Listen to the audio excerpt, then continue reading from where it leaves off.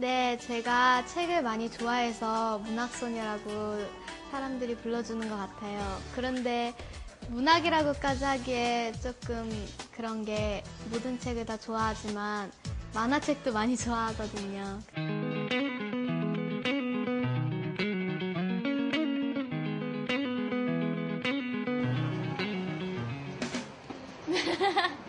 드실래요?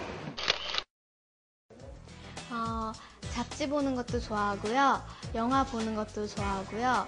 또 밖에서 노는 거 좋아해요. 예를 들면 물놀이나 조깅, 그리고 친구들이랑 수다 떨거나 아니면 모여서 막 재밌는 얘기하면서 맛있는 거 먹고 그런 것도 많이 좋아해요.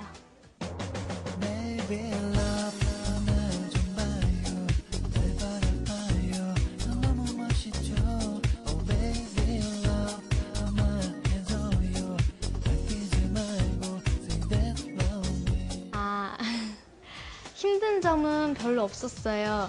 친구들이랑 동생들이어서 많이 도와주고 또 챙겨주고 또 제가 힘든 점이나 모르는 점이 있을 때 옆에서 많이 알려주고 그래서 오히려 고마운 점이랑 되게 좋은 점만 많았던 것 같아요.